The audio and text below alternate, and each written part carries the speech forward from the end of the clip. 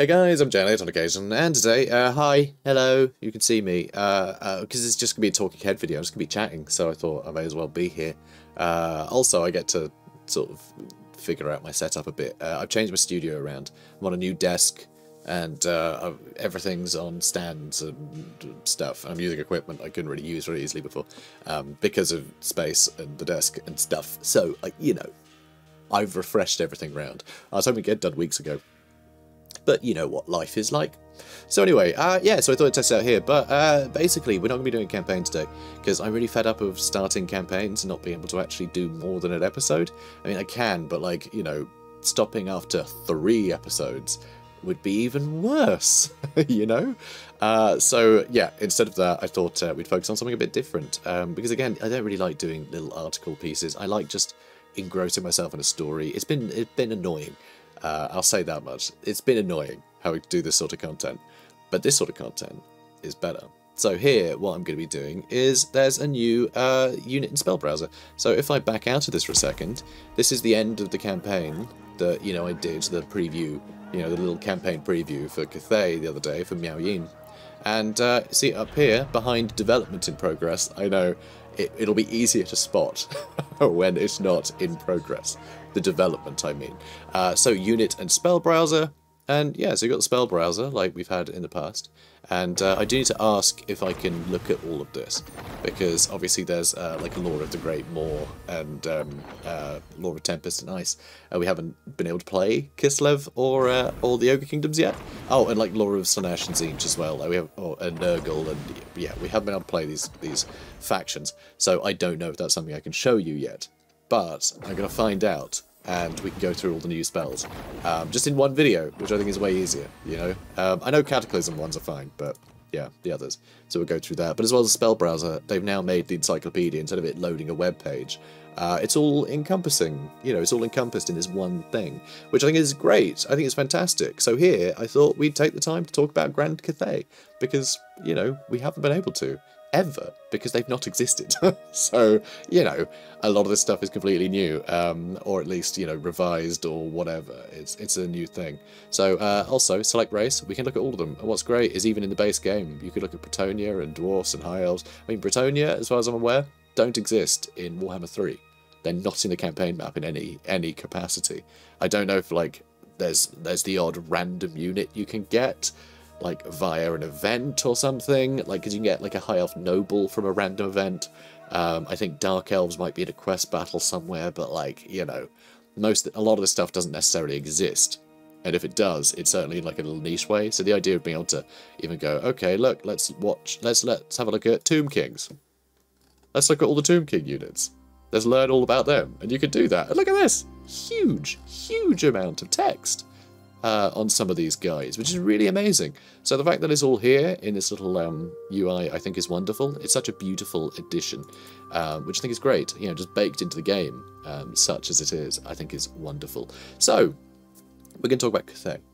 I know, we've only been going for three minutes and I haven't done anything. Oh, also, I've got a little mascot now. yeah. It was while I was sorting out everything, uh, going through cupboards and stuff and just trying to, you know, find a place for things I was no longer using and also digging out the things I can now use, having, you know, upturned my studio. But yeah, I found this little guy. I don't have a name for him yet, so let me know. Maybe I'll put it to a poll in the community tab or something. But yeah, we got this little guy. Yeah. Anyway, admin out of the way. Should we actually do some content? Probably. You know, I want this to be chill. I want everyone to make sure that at this channel we don't do things quickly. Lovely. So, Blood Dragon. Blood Dragon? Dragon Blooded. We don't do things quickly. Dragon Blooded. That is actually. Blood, Blood, Dragged is probably the best I've done. Um, in the past, I've said I've said all kinds of things like uh, um, blood draggled and all sorts. Like for some reason, I can't say dragon blooded without like serious effort. So enjoy the next half an hour. So dragon blooded Shugengan, Lord of Yang. So celestial blood grants both unassailable authority and rare mastery of the elemental winds. Over the centuries, the celestial dragon's nine dragon children have themselves had children, born of mortal men and women. Those mortal offspring of the dragons are known as the dragon blooded. Nailed it. Uh, in time, these mortal children have themselves become the progenitors of entire dynasties. They're people able to trace their ancestry back to the uh, celestial dragon emperor himself. While the dragon-blooded remain relatively rare, there are still many thousands of them in Cathay. Given their lineage and the power that comes with it, the dragon-blooded typically rise to positions of authority as important rulers or magistrates in the lands controlled by their forefathers and mothers. Interesting stuff. So, this is specifically talking about the dragon-blooded. Yes. Uh, but not the Shugengan part of it, okay? The Shugengan thing is um, separate, but luckily there's a second lord that we can look at, so we have Yang and Yin to look at. So for Yin, powerful sorcerers, second only to the dragons themselves. Shugengan can bend the eight winds to their whim. Zzz. The dragon-blooded are natural sorcerers, and many take uh, take to mastery of the elemental winds as easily as wielding a blade or crossbow. The most powerful of them are known as the Shugengan an elite arm of the Celestial Court that stands equal to, but apart from, the Astromancers. The Shugengan practice their own form of high magic focused on the Yang or Yin branches of the elemental winds, known as Feng Shi, and can conjure the most powerful magics known to the Empire. Only the dragons themselves are able to command the elemental winds more skillfully. So, there's the Shugengan part of it, but what exactly is Shugengan? So um, it's it's a bit weird, isn't it? Does it just mean sorcerer? No, no. Uh, and I'll show you for why uh, in a second. Where are you? Hang on. Uh, here we go. Done. Shugendo. Shugendo. This is where it comes from, I'd assume, because uh, of the fact that it's Shugendo and it seems really relevant. So Shugendo the way of trial and practice, um, the way of Shugen or Gen practice. Apparently, hopefully that all made sense, but anyway, uh, is a highly syncretic religion, a body of ascetic practices that originates in uh, Heian, don't know, something, era Japan, having evolved during the 7th century from the amalgamation of beliefs, philosophies, doctrines, and ritual systems drawn from local folk religious practices. Shinto mountain worship, and Buddhism. The final purpose of Shugendo is for practitioners to find supernatural power and save themselves and the masses by conducting religious training while treading through steep mountain ranges. Practitioners are called Shugenja uh, or Yamabushi, literally mountain prostrator. The mountains uh, where Shugenja practiced were all over Japan and include various mountains of the uh, Omine uh, mountain range, such as Mount Hakyo and Mount Omine. So you might be saying, uh, Janet, uh, that's Japan. Cathay's China. Like I said, just inspired from. But uh, a lot of the ancient sort of practices of both China and Japan overlap quite a bit. Um, and Korea as well, that whole area. Um, certainly when it comes to like things associated with religion, uh, there's a lot of a lot of transference there, supposedly supposedly there is. You know, I'm not an authority on this stuff, but uh, Shugendo seems uh, perfect for this. So, uh, yeah, the, the idea of, you know, finding supernatural powers, things like that, the idea of it being associated with, like, an amalgamation of philosophies, doctrines, and all the rest of it, uh, they're learning the eight winds of magic and they're learning about harmony and you know yin and yang. It's it's it's everything together which um, is the impression that i get. So to me that seems appropriate for what it is. Um, i haven't been able to find a more convincing you know thing of what shugengan means. Uh, so if anyone has any ideas then let me know. But this feels super appropriate like you know, it seems to match perfectly. Uh, there's also history and uh, practices here. So practices are where things get interesting as well. According to uh, Hiyaki uh, Mitoshi, Shugendo rituals include festivals, fortune-telling, divination, prayers and incantations, exorcism, spells, charms, and so forth. It's pretty broad, and so the idea of just general mysticism, um, you know, any and all, I think it makes a lot of sense. The idea of someone who's just, you know, at face value, just like, oh, that that's a magic dragon-blooded person. Fine, they're basically magic, just intrinsically magic. All regards, you know, I think it fits quite well. So that's that's my, you know, that's my theory. Right then. Hey there. back to this unit spell browser, we've talked about one unit. Technically two, actually, because it's the two different lords, two different different spells. Other than that, they're basically the same. But anyway, whatever, it's fine. So, next up we have the Lord Magistrate. So, a master strategist requires unquestioning allegiance from the vast armies of their great city. So the magistrates, of course, you know, magistrate of each city. Um, so each of the great cities of Grand Cathay is governed by a Lord Magistrate in the name of the Dragon Emperor. These are canny men and women, as adept at navigating the politics of the Empire as they are directing troops in battle. As skilled strategists, Lord Magistrates can often dictate the pace of battle even before it begins, catching their enemies flat-footed with the rapid mobilization of their troops.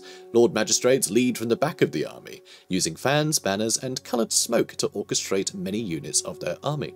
So I really love the dynamic here for Cathay in the fact that the Magistrates are basically just like uh, the the I mean, they're just the lords of the of the castle, right? But they don't want to be in the thick of combat. No, no, no, no. They're there to make sure that the disposable peasants get going and do their job, um, basically. But they're they're great strategists, right? So it's you know, you can, I'm sure you guys have all seen these sort of very um, sort of archetypal, you know, lords and ladies playing chess and you know playing these strategy games. Think like Cao Cao and things like that um, you know these master strategists, and that's where they learn. You know, Sun Tzu, that that whole archetype of person. That's what the magistrates are. You know, they're not like uh, you know they're not like um, I don't know Liu Bei or something. You know, running into combat, Zhang Fei. You know, they're not like these people running into combat like that and being heroes. They're like, no, they're just going to be more canny. And I think that's really cool, especially in the confines of this game, where generally you've got the Melee Lord and the Spellcaster Lord, but actually the Melee Lord is only a melee lord because they don't have magic. Not because they're good at it. They're the support lord. They're there to make sure all the other troops are doing really well, which I think is really interesting because that we haven't really had that in Warhammer before. That's not really been a thing. So I think that's a really interesting one, just from a gameplay perspective. Uh, but also makes perfect sense for the, that sort of culture. I think it's really cool. So next up, we have Zhao Ming, the Iron Dragon. So, though the Iron Dragon possesses untold authority, decades of warpstone experimentation have taken a toll upon his mind. So this, I think, is interesting, the fact that it's framed as being that's what's happened, like all the warpstone he's gone mad. Uh, it makes me wonder what bias there is in this flavor text, because there's always a bias. There's always a bias with writing about Warhammer and stuff in Warhammer. There is always a bias. And uh, this to me seems like uh, what the what Grand Cathay think about this guy rather than what other people think about this guy. Because the lore that we've read already in all the blog posts talking about Cathay basically had it that, yeah, maybe maybe the warp stones had a bit of an effect on him, but the only reason people think that that's the case is because he's kind to humans. That's why. You know, that's why they think he's gone mad, because he'll share a drink, you know, with his colleagues who are researching, you know, these different um, metallurgical, you know, wonders um, you know, in his forges and whatnot. Like all that magic is is yeah, and he uses warpstone to do that, sure, but he treats humans as people instead of sort of whatever possessions, basically. Um, and so that's why people think he's mad. So it makes me wonder. It makes me wonder um, how that plays into the sort of any narrative that the game is trying to create revolving around these characters. Yeah, I'd be interested to have that explored more. But anyway, so a hardened frontier warrior, the Iron Dragon maintains the western edge of the Empire and keeps the desert clans in order. A skillful alchemist, he uses the strange minerals of the Warpstone Desert to create unique weapons for his armies.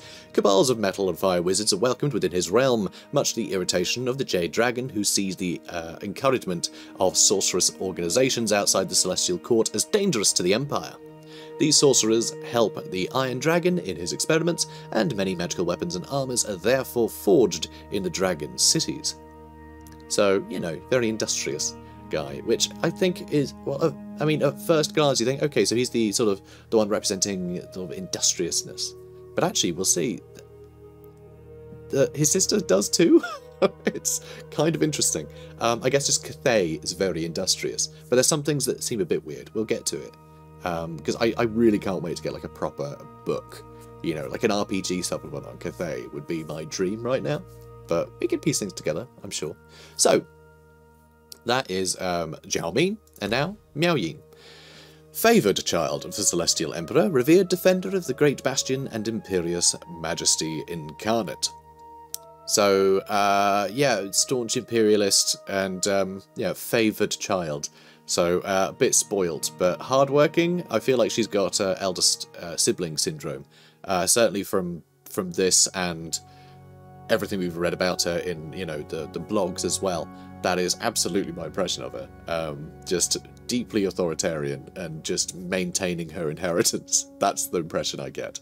So, the Storm Dragon rules over northern Cathay and commands the armies of the Great Bastion, cold and aloof. She has held this position for centuries. After its defence was entrusted to her by the Celestial Dragon, Despite her power, the Storm Dragon has a significant task in the defence of the North, and her armies are almost constantly at war.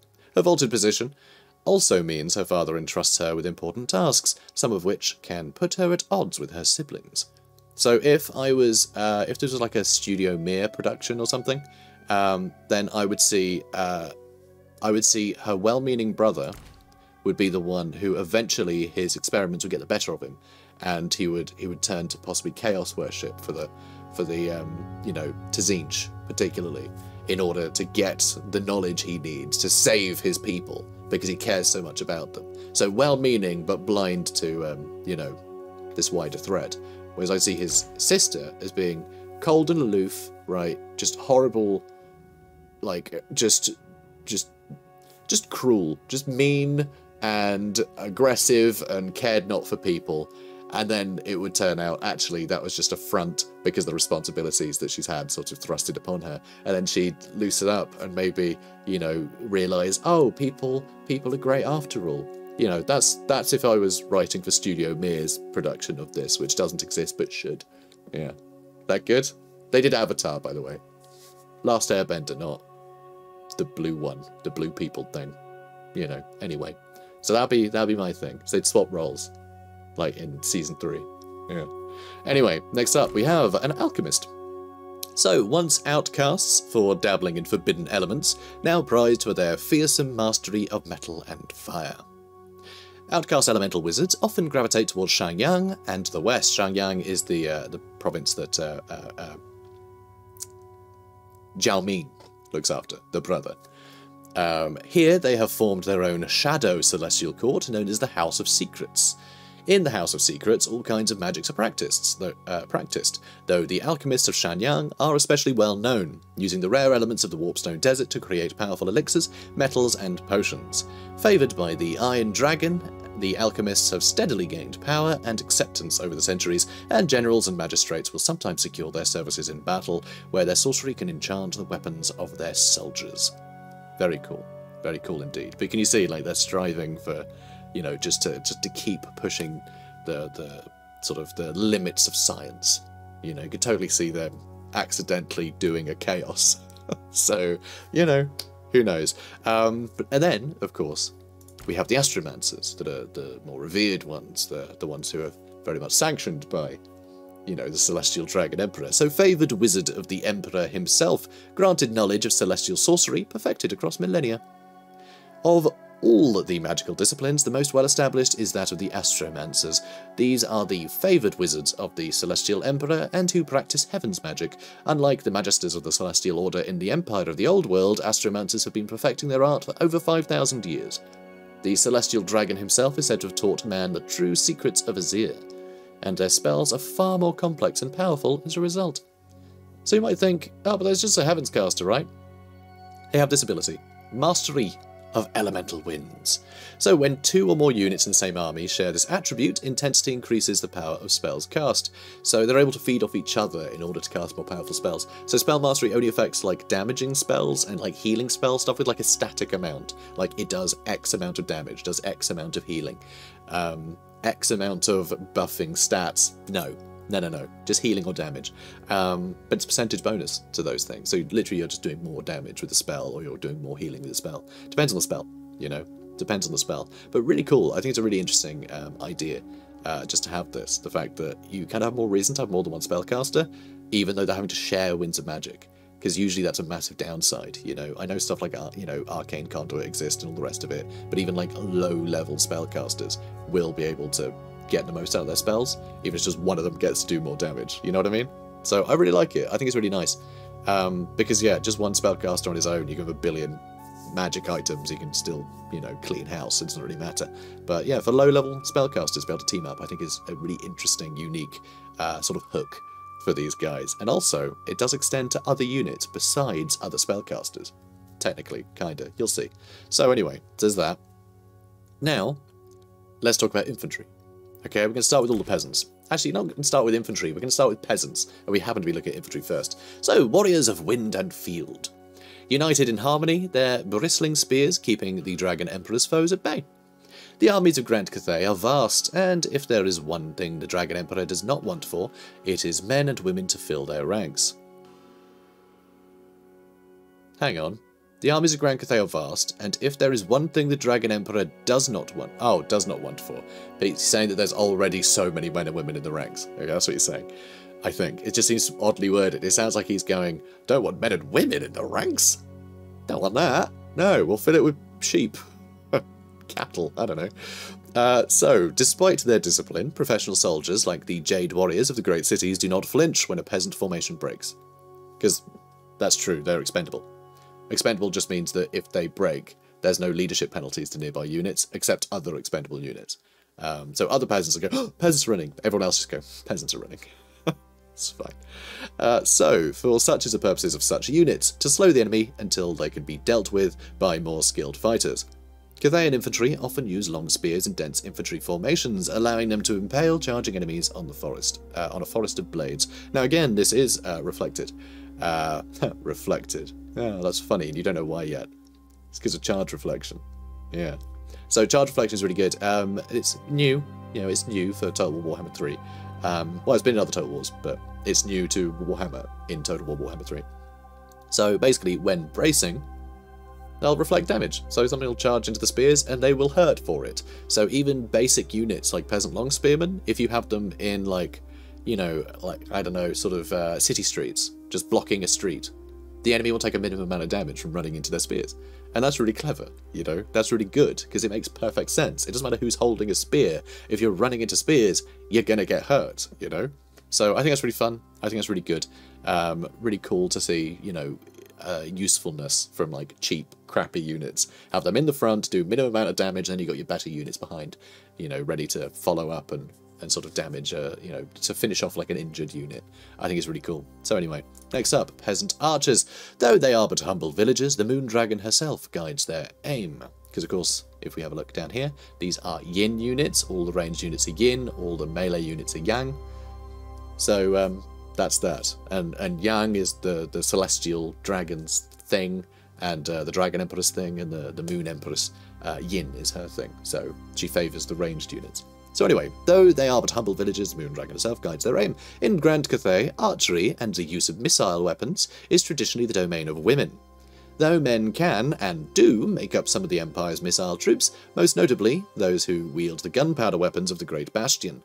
The majority of archers and crossbowmen, uh, crossbow troops, are female. This is the work of the moon dragon uh, Kuai Yin, herself an exceptional archer, who has for centuries encouraged girls across Cathay to master the art of bow and crossbow, as well as blessing their efforts with her magic.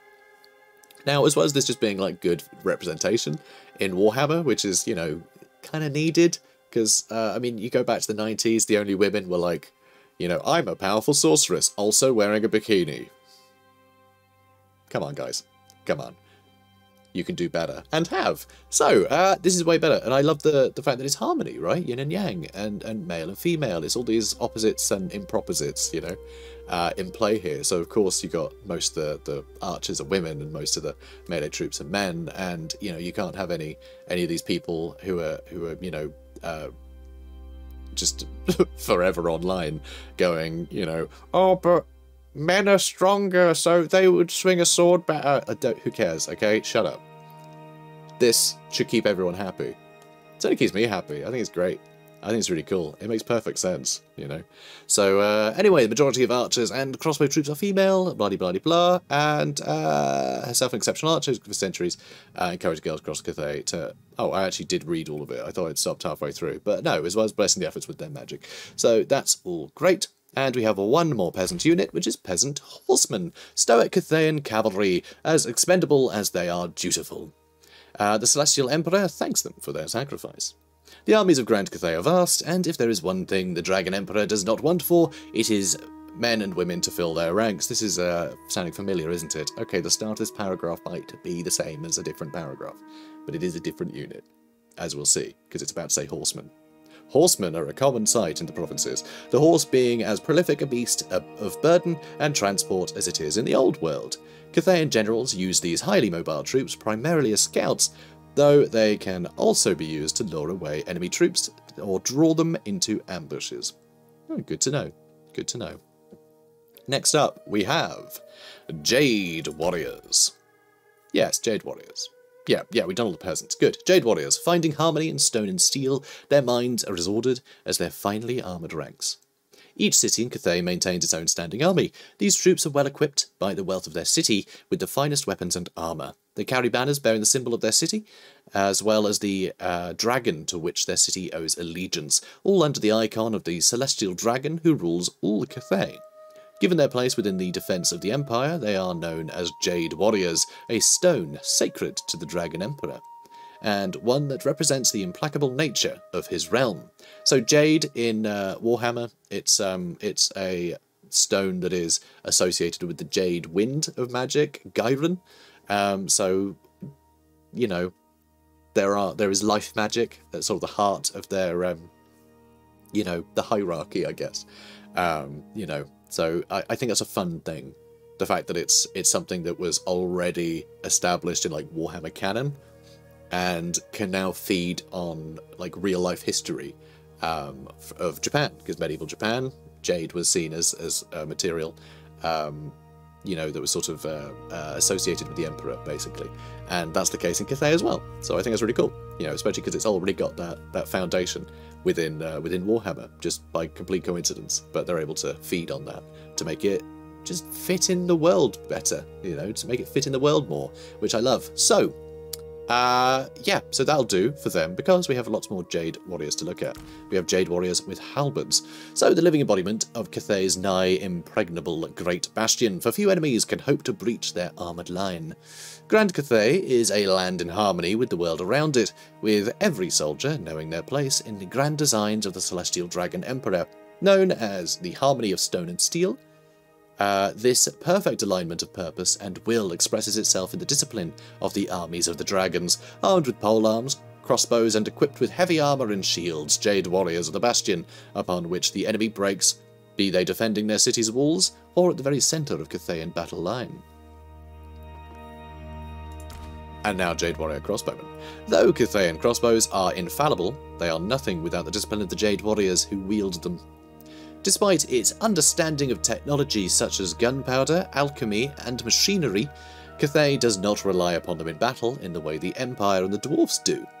Rather, their technological advances are merely another tool in, the vast, in their vast arsenal, and one that cannot be replaced, in the eyes of the Celestial Dragon at least by the strength of conventional soldiers. Soldiers in the, Cathay, uh, in the Cathayan armies fight in ordered ranks, each one trained to move in harmony with those around it, the entire army often fighting like a single organism under the direction of its generals. So, a few things here that I wonder. So, sticking with tradition, right, the Celestial Dragon Emperor, because obviously he had a plan for his empire of people, and then he's made them do it, and he wants them to keep to it, right? Um, however, we did mention um, uh, uh, Shang-Yang, wasn't it? Shang-Yang? Uh, do, do, do, do, do. Hang on, let's. You're the one who said, yeah, Shang-Yang. is Shang-Yang. Uh, you mentioned Shang-Yang being a being a place of like industrial, you know, uh, merit, I suppose, um, and progress, which is interesting. When it's kind of like I don't know, it seems like the kids are are progressing, and yet the Celestial Dragon Emperor himself is more traditional, so even though the technology behind things like his crossbows, they're infallible, but they're still kind of old hat. But it also makes me wonder if part of that is because he doesn't want the people to be able to best him. Huh? You think maybe? Maybe he's just making sure that they're well equipped enough, but not so well equipped that they can pierce his armour, you know? Just just a thought, just a thought. That's not, you know, canon, it's just something to think about You know, something to think about. Because um, I do wonder. So anyway, uh, next up. Hang on. Nope. Order ranks. Okay, yeah, fine. I think we read it all. If not, we got the gist. So, Jade Warrior, Crossbowman, bracket, Shield. Uh, should the Dragon Emperor's foes survive the hail that greets their approach, they will be dashed against a near impregnable wall of shields. Armed with pole arms, crossbows, and equipped with heavy armour and shields, Jade Warriors are the bastion upon which the enemy breaks. Be they defending their city's walls or the centre of the Cathayan battle line, Cathayan soldiers make use of the great lacquered tower shields, either carried by gun teams or worn on the backs of warriors, so they might turn around and go down on one knee, creating a formidable defensive line. So I like this, actually. I like this a lot. It's um, it's not they're holding shields so they can just hold them in front of themselves to block, you know, when they're not shooting. It's just, no, they just turn around to reload, right? so this just hints at the fact that the shields fit in better um, into, into their sort of discipline, you know, to their discipline, I guess, uh, which I like. Which I like that, you know. It's not like the uh, the dark shards that just hold a shield. It's just it's silly. It's just very silly. Anyway, this makes more sense. I love it. So next up, uh, we finally have Jade Lancers. These are the last of the Jade Warriors. A lot of Jade Warriors. There's five different, you know, sort of Jade Warrior units. So you could really field a lot of armies just involving them, which is really cool. So their thunderous charges are, fierce, are as fearsome within cramped city streets as they are upon the plains of war. The heavy cavalry of Cathaya, the Jade Lancers, mounted soldiers of the great cities, the wealthiest cities, like Fuchao or Weijin, which is the capital, can afford large contingents of Jade Lancers, though even the remote cities of the south and west can usually muster at least a unit of these troops. In addition to being a potent tool in the open field, Jade Lancers train to fight in the constricted streets of their cities, and are able to launch devastating charges through narrow alleyways, across bridges, and through the tunnels that pierce the city walls. Now this, I think, is very interesting. Because why would you need to train in urban combat all that much?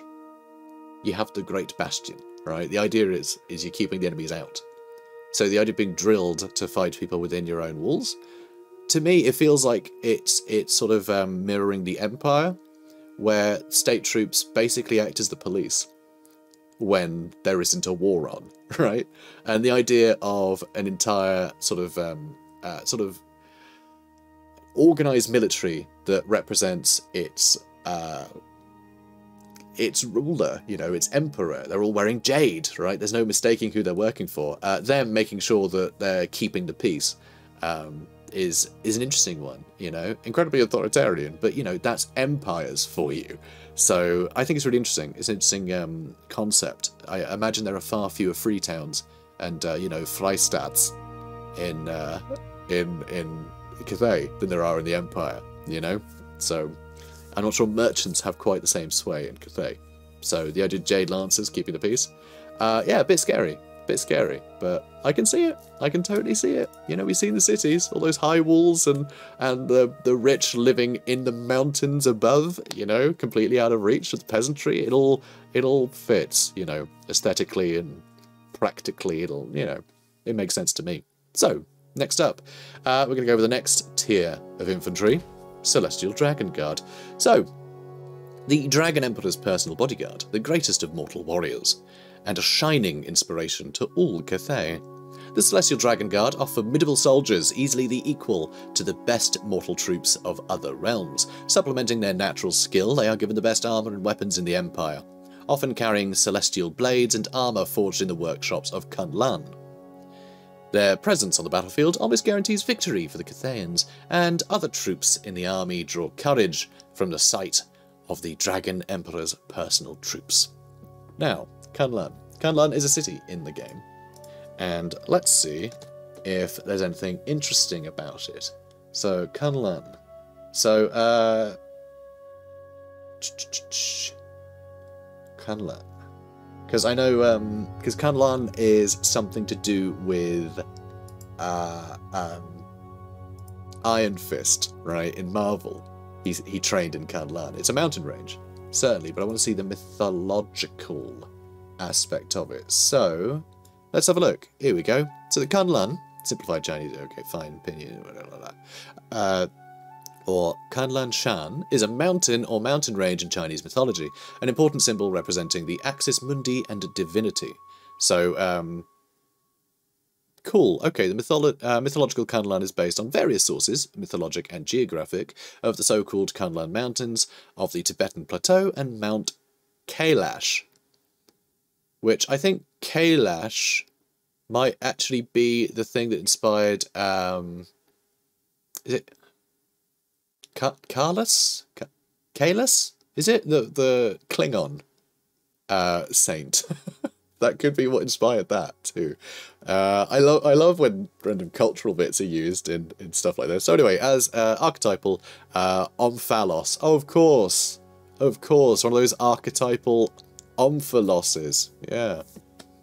All right, come on, let's go down the rabbit hole. What are you? What are you? Religious stone artifact.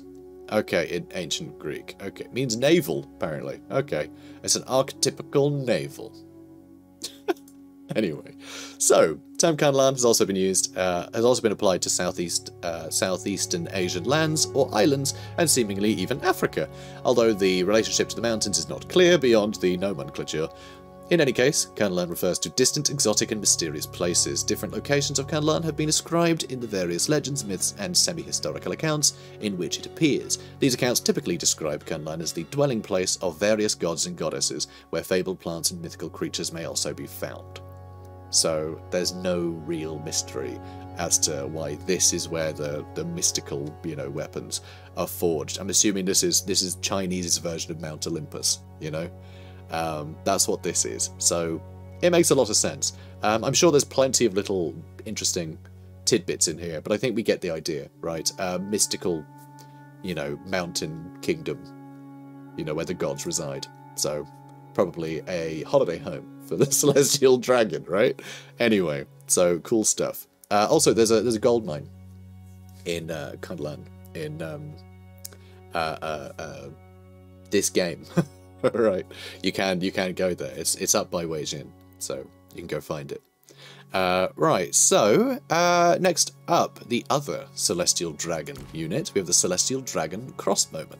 So only the Celestial Host enjoy the greatest armaments of the Dragon Empire, for only they can guarantee victory upon the field of battle. It makes sense, they're the best of the best of the best, and Cathay still exists, so clearly they haven't lost yet. Uh, the Celestial Dragon Guard are the personal bodyguard of the Dragon Emperor and Empress, and form the Celestial Host, the greatest soldiers in all Cathay. As the most elite warriors in the Empire, they enjoy the finest weapons and armour, and are almost always led by a member of the Dragon-blooded. The dragon crossbows of the Celestial High Guard are the uh, work of Grand Cathay's master weaponsmiths. They are massive repeating weapons, able to lay down a steady stream of heavy bolts. Which, yeah, absolutely. Big armor piercing damage on these guys. Really nice. Really nice. Shots per volley, a couple, 12 damage each. They do a lot of work. Do a lot of work indeed. I really like these guys. As well, 160 range is good range. Uh, if you look at the Peasant Bowman, Peasant Bowman only have 140. These guys are really good. I mean, we saw them in action, you know, in the, the campaign preview, which I'm assuming you guys have looked at. Or else, why are you here? This is the boring video, where it's just me talking. Yeah. We're very boring around here. I'm proud of it. Okay, I'm an old man. So anyway, uh, so we got that out of the way. One more, one more unit of uh, of that order. Uh, the Great Longma Riders. The riders of the Celestial Host are the elite of the elite. The Dragon Emperor trusts only his own kin more than they. The Celestial Dragon Guard are formidable soldiers, easily the equal to the best mortal troops of other realms, supplementing their Pardon me, their natural skill, they are given the best equipment in the Cathayan Empire, often carrying celestial blades and armour forged in the workshops of Kunlan. Their presence on the battlefield almost guarantees victory for the Cathayans, and other troops in the army draw courage from the sight of their Dragon Emperor's personal troops. Almost without exception, the Longma cavalry of the Celestial Host consist of the Dragon-blooded. So these are all Dragon-blooded, so that extra power that they have just innately is um, obviously incredibly useful, but they're still, you know, in a subservient role to the um, to the to the dragons, right? That these are just cavalry. They're not running things, which I think is really interesting. Um, I think it's really interesting indeed. I don't think the dragon-blooded are seen with uh, a great degree of reverence by their parents or grandparents, aunties and uncles. I really don't think so. I think they're just a bunch of bastards. And I mean that in the literal sense, I'm not just being mean. but yeah, they just have innate power because they are related to the dragon, so they have innate power, but I don't think they're respected in that way. Maybe revered by and feared by mortals, but um, yeah, it doesn't seem that there's like nepotism giving them positions of power. And we know nepotism is all there really is. All the dragons are in charge and everyone else is beneath them. And it really does seem to be everyone else is beneath them. So um, it seems that they're in the, the greatest order, you know, of cavalry simply because they have innate strength because of the dragon blood, not because, you know, not because it's like, oh, your family, we'll get you a nice thing. I don't think that's the case. So I wonder, I do wonder. Um, but we'll go back and talk about how horrific it, the the dragon blooded their situation is because it, it's really horrible when you think about it too much. But anyway, we'll get to that. Um, so anyway, uh, Almost without exception, the Longma cavalry of the Celestial Host consist of the dragon-blooded, swifter than normal horses and able to spear their foes on their horns. Great Longma are the ultimate shock horse soldiers anywhere in the world. So uh, it's my understanding that Long means dragon and Ma means horse. Literally just dragon horse, um, which is fun. Girl dragon horses. Uh, so yeah, great Longma riders. Uh, very cool indeed. Um, you know? Let's go back to it now. So, so the dragon-blooded, right? So the dragon-blooded. The dragon-blooded Shugengan. The dragon-blooded. So they're the kids of dragons. Uh, but it's dragons who have hooked up with mortals. But the mortals, as we've discovered from the all the backstory concerning um, how, you know, Zhao Ming has a drink with people, therefore everyone thinks he's lost his mind.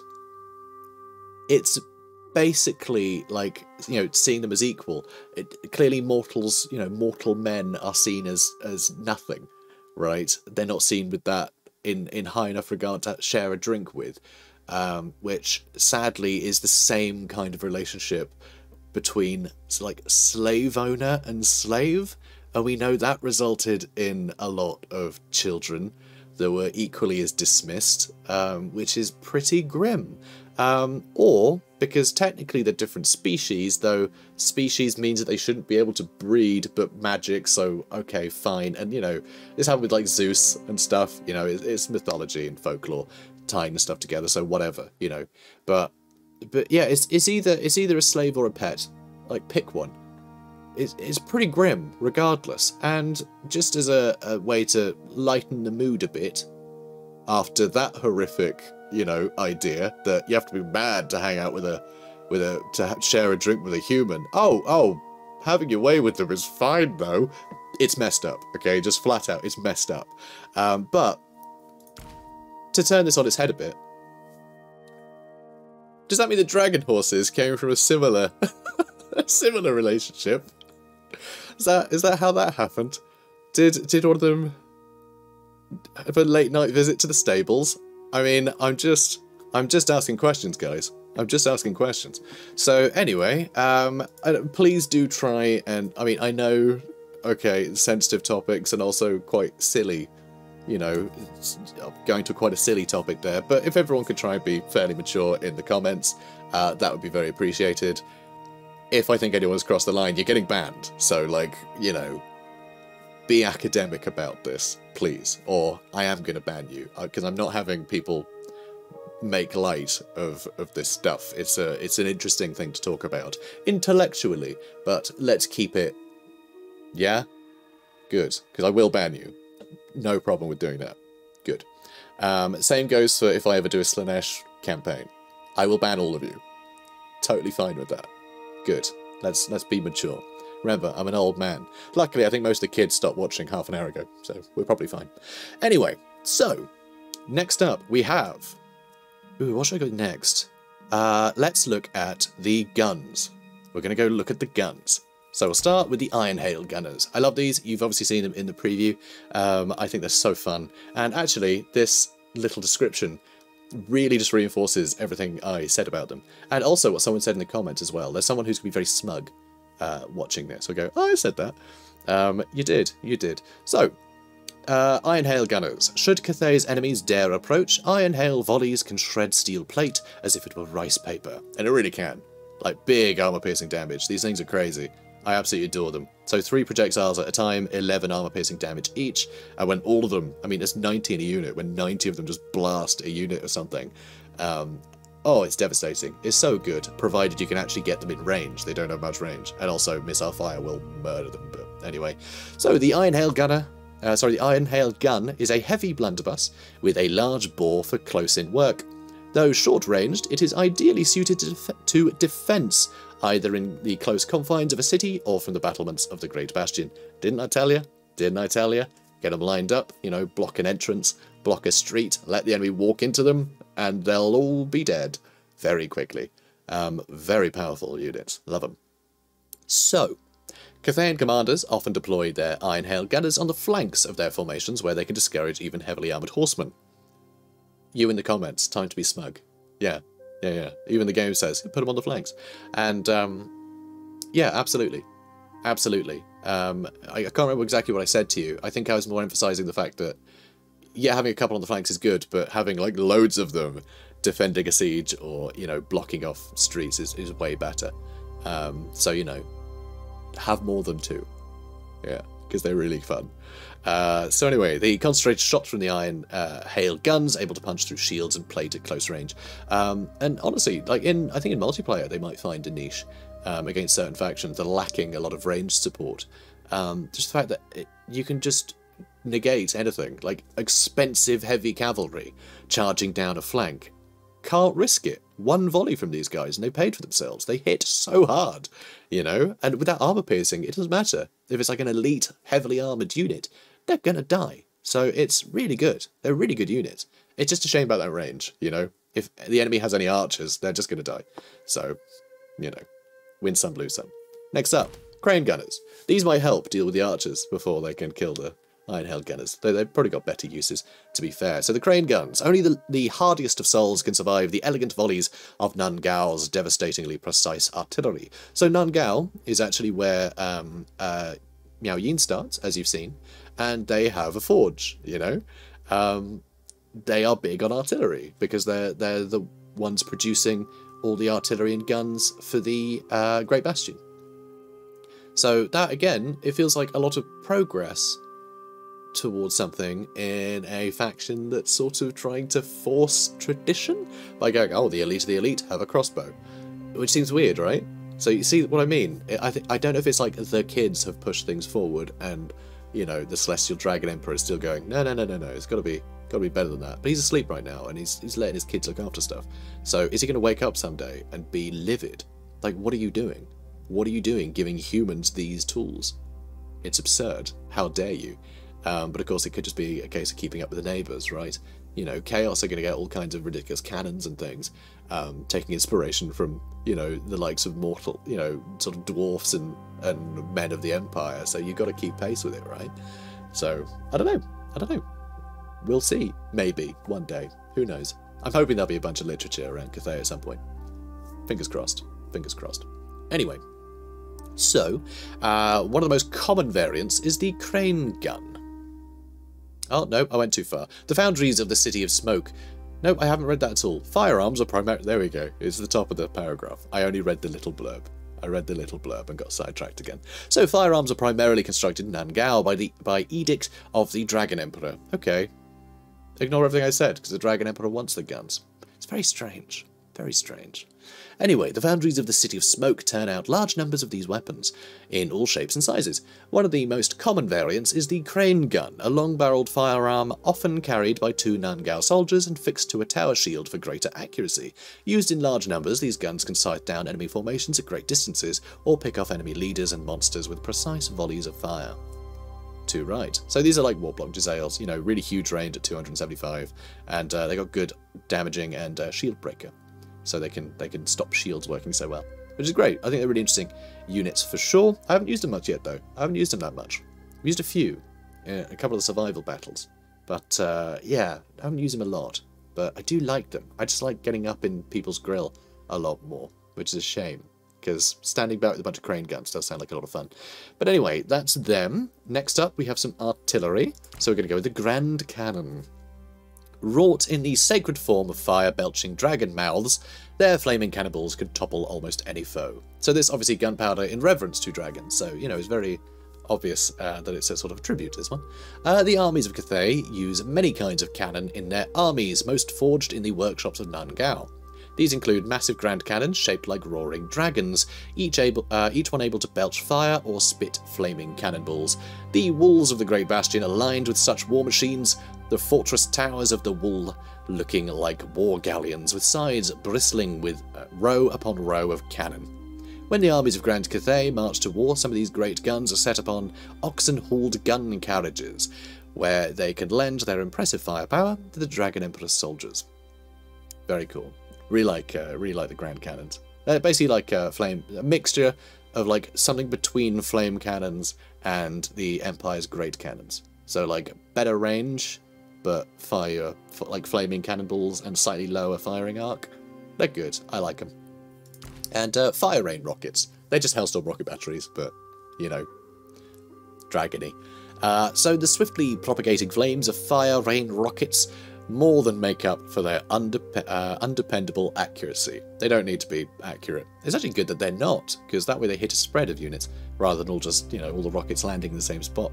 So rocket launchers are used extensively in the armies of Grand Cathay. Inaccurate but deadly, they haul explosives, explosives long distances, usually in great numbers to saturate an entire area in flame and shrapnel but are equally able to deliver single massive rockets against monsters or fortifications. The Fire Rain rocket battery is a portable war machine, drawn by oxen and crewed by soldiers of Nangao.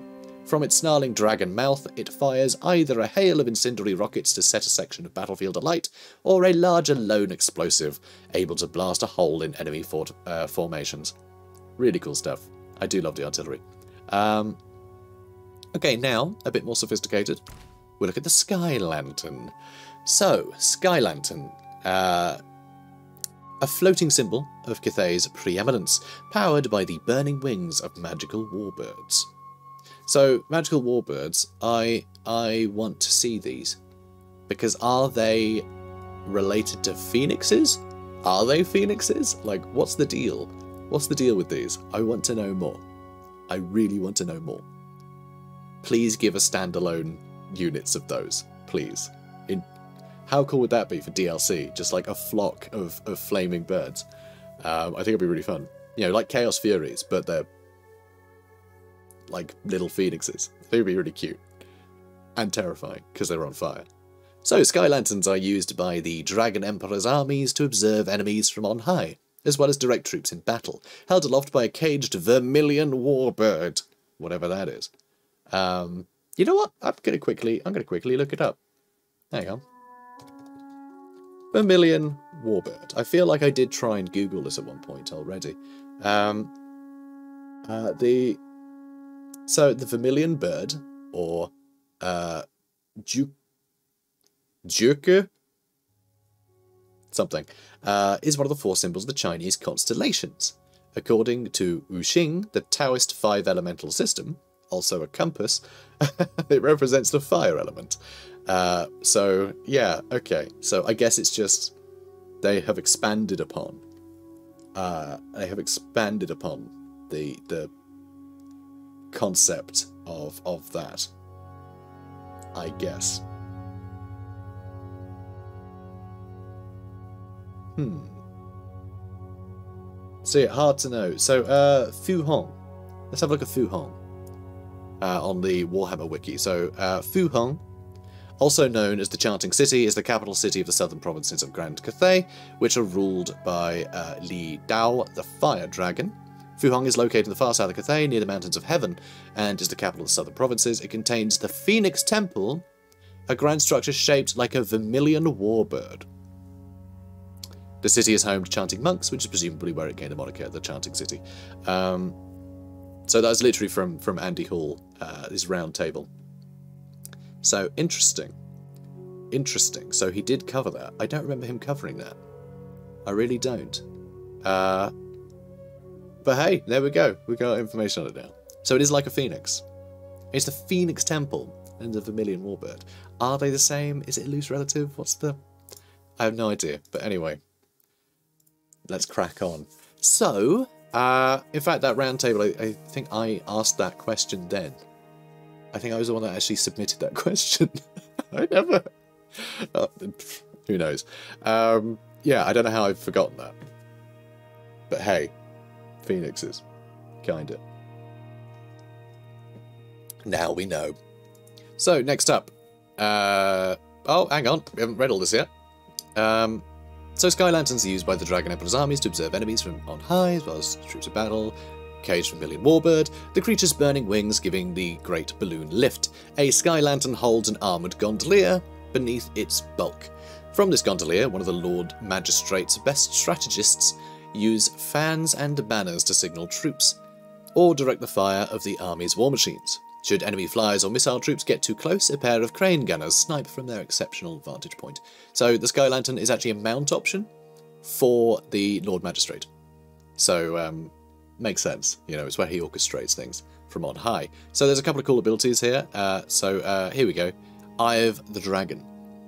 Forest spotting. So if you're stuck near a bunch of forests, you can just have the Sky Lantern hang out by the forest and you'll be able to see everything in it really well, which I think is just a really unique ability. But, um, you know, such an interesting one if you're going to turtle, because that's sort of the biggest enemy of turtling up like that with a bunch of like long-range guns is people can just hide in forests and things. So I think that's really fun. That's a really nice addition. Um, also, also Yin, of course, because you know it's a ranged one. So next up we have the Sky Junk. So, a flame-borne airship as immense as any seafaring craft capable of laying waste to entire regions. Uh, an, in, uh, an invention of Shi Hong, Nangao's master war artificer. The Sky Junk is a wonder of the Celestial Army, as large as a ship of the Jade Fleet, which is their navy. I wish we got to see some of that. Um, it is suspended in the air by a series of sky lanterns. Its armoured cradle able to turn aside arrows and bullets as its crew rain death down upon the enemies of the Empire. Marvellous.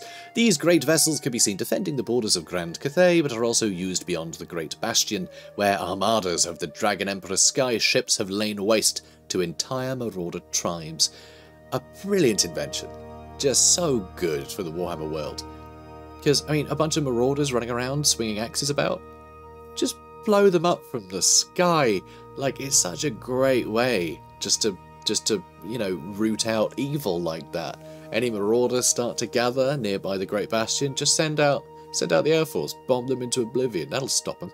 Um, but it makes perfect sense, you know? You don't want to touch anything in the Chaos Wastes. You don't want to traipse through it. You could fall through, you know, you could fall through obsidian into molten lava at the drop of a hat, you know? Or a tentacle could grab you and throw you into a big mouth. You know? Chaos Wastes are rubbish. Horrible place for a picnic. So yeah, just fly around. Fly around a big, a big sky junk covered in guns and bombs. Brilliant. Brilliant. These guys know what they're doing. So, uh, next up, we have, uh, we have, okay, we have two more units left. We have two more. So, first one, Terracotta Sentinel. Obviously based on the Terracotta Warriors. You know, the, the, the burial site. Is it a burial site? Was that decided? You know what? We're going to Google it. We're going to Google it. I say Google it. I actually use Ecosia which is uh, sadly powered by Bing, which can sometimes be lacking. But uh, they plant trees with the ad revenue, which is quite sweet. So, uh, you know, that way I get to feel good about myself with all the electricity I use for my job. So, uh, what was I going to look up again? Oh, yes. Uh, Terracotta Warriors. Let's have a look. So, do do do do do. Where are you? I mean, just give it to me on Wikipedia. Like, I don't need to... Like, it doesn't need to be fancy. Okay, good. So here we go. That... Nope, that's... Why... why, why wouldn't it be in English? That's very weird. Why aren't you in English all of a sudden? I think it's because I spelt terracotta wrong. Like, really, really wrong. Okay, come on now. Uh, here we go. No, once again, it's it's in Polish. there's just there's just no one English made a yeah, I don't know. It's just, it just wants me to be on the Polish site, but it's okay. Google can translate. So, the Terracotta Army, uh, obviously Chinese, um, uh, a collection of approximately life-size figures made of terracotta, baked clay, depicting soldiers, officers, and horses found in the tomb of the Chinese first Qin emperor. So there you go. It's the burial site of an emperor, uh, which makes a lot of sense, given the fact that it's the emperor that created the terracotta sentinels, because he can't die. So you know, it gives it gives an emperor connection with terracotta warriors, right? You know, the terracotta army. So it allows that connection um, in a Warhammer way. So there you go. So let's get back to it. So terracotta sentinels. The fearless stone giants stand guard across the length and breadth of the Celestial Empire, awaiting the Dragon Emperor's call. Terracotta Sentinels are creations born of the dragon's mastery of the elemental winds, each one a towering animated statue fashioned in the form of a great warrior. Legend has it that these sentinels are the gigantic soldiers of an army built by the Dragon Emperor thousands of years ago, when chaos threatened to overwhelm the Empire. Since then, they have been left scattered across Cathay, waiting to be called to war once more. Once given orders, a terracotta sentinel will not falter in its duty, relentless, carrying out rel relentlessly, or anyway, relentless, carrying out its last commands until the task is complete. So I do wonder quite why they're just sat around. There's still a lot of chaos to be dealt with. Um, although I guess in a when you're fighting a foe that exists in a realm beyond time and space, um, then I don't know. Are you really doing a lot of good? You can't really chase them in there. I don't know. It's an odd one. It's a bit of an odd one. But uh, I do wonder. I mean, obviously, it'd be a bit overpowered if just these were getting spat out left, right, and centre by some mighty forge um, and being sent to war repeatedly for you. I think it makes sense they're sort of in a limited quantity and um, and you know aren't particularly active uh, right now. Also, I think they're definitely um, just having them dotted around Cathay. I think it kind of reminds the people who's in charge quite a lot because um, that's what it's basically what statues are for.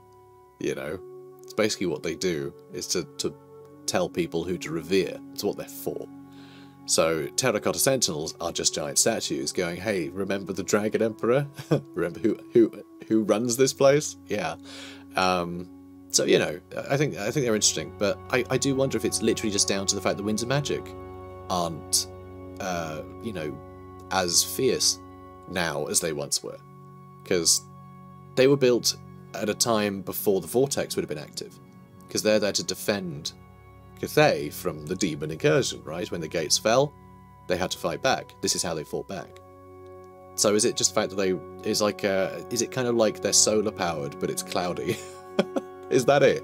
Because I think it could be. I genuinely think it could be that. Um, so I'd love to know more about them, how they function and, and what their limitations are, why they're just sat idle, or if it's literally just the the celestial dragon emperor is asleep, and you know his his mind can only sort of um, call out and, and give orders to them when he's awake or, you know, in limited amounts when he's asleep. Just something like that. I'd, I'd love to know. I'd love to know. If you guys have any, you know, information on these guys that uh, could shed light on that or, you know, any context that I've, I've you know, ignored or whatever, uh, then yeah, let me know. I'd, I'd be really interested because I think they're a super intriguing unit. I think they're very cool. And then finally, the Wu Xing War Compass. This mighty war compass can harness the elements themselves. The idea of a mighty compass is very bizarre. It's a very weird statement to make. So anyway, this mighty war compass can harness the elements themselves, so even wind and lightning serve the Dragon Emperor's will. Which again is pretty impressive, just say, no, no, no, he is above the elements.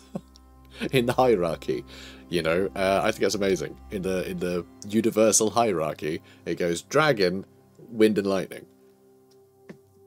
Humans are... I can't put my arm low enough. Just, it's down there somewhere in the in the comment section. so, the Wu Xing, know your place. The Wu Xing compass is a smaller version of the Great Compass of Wei Jin, being their capital and where the celestial um, uh, uh, emperor and uh, moon empress uh, reside.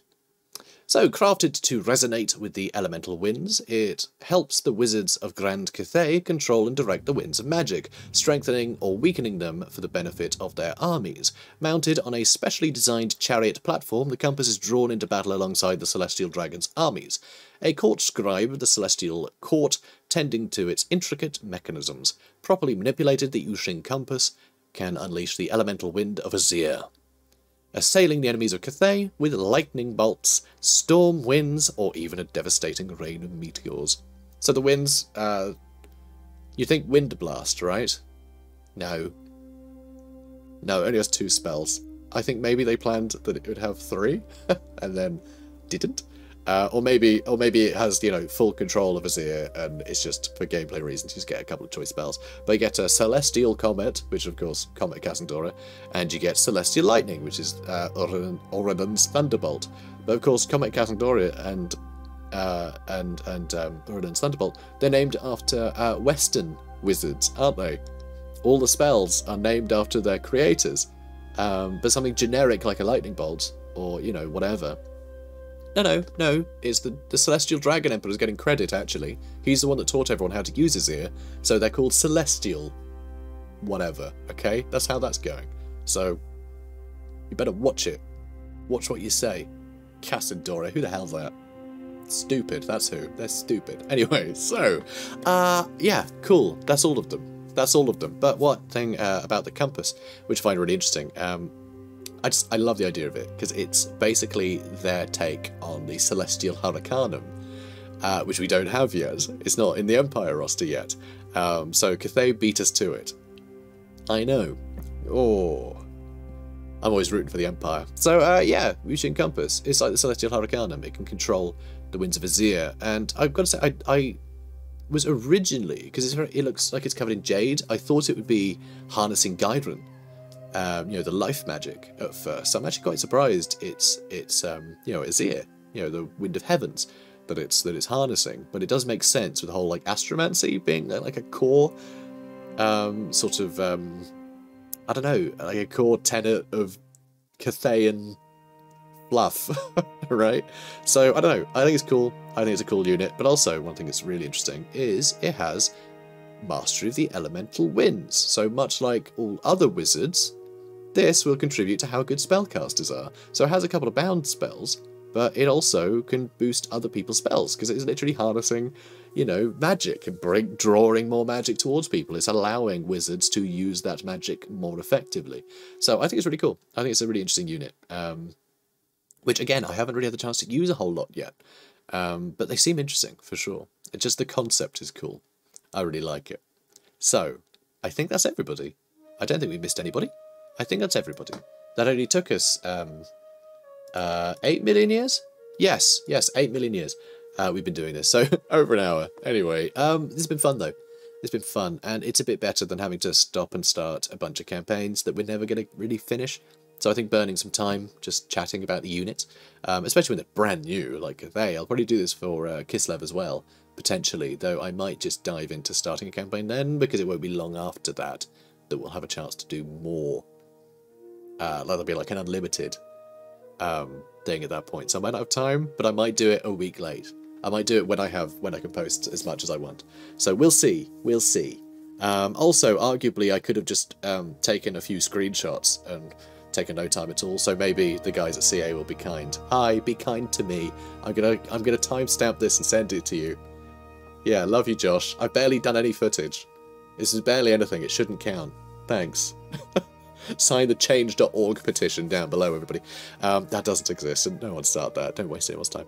Um, anyway, guys, uh, I hope you enjoyed this. Uh, comment, like, subscribe, hit the bell, obviously, um, so you can be notified when I'm doing proper content. and uh, uh, yeah, remember, if you're looking to buy the game, there are affiliate links below, which really help the channel out tremendously. Okay, tremendously. To put it into perspective, I earn about ten dollars from um, uh, like a like a, a late uh, campaign video, right? If it's like episode 20 and onwards, I'm getting like a, a tenner for a video. Uh, whereas if you guys buy Warhammer 3 from me, I'm getting $10 just from that. So it's the same as same as a video in like the sleepy months between content releases. So like that helps a lot. You know, that helps a hell of a lot. So bear it in mind. Uh, you can use Nexus or there's affiliate links. Uh, they both help either way, and I appreciate it either way. So uh, love you guys, and I'll see you in the next one. Whatever the hell that's going to be. Bye.